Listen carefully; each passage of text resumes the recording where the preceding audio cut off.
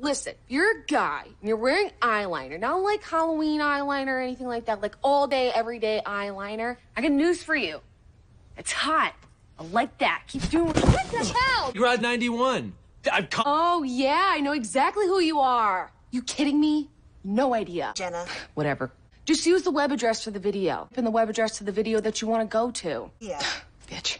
Well, then I don't know what to tell you. But whatever you're gonna do, you gotta do it quick. Steve didn't tell you? These phones in Deary, you're only linked to the outside world.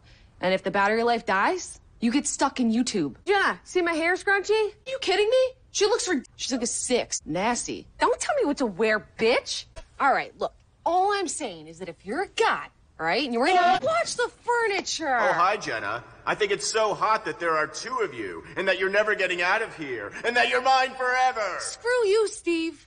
I don't give a sh- what Julian Twitter said. Julian Twitter's a little bitch. Yes, ma'am. Hey, you can tell Joey Amazon that I ordered my scrunchies two weeks ago.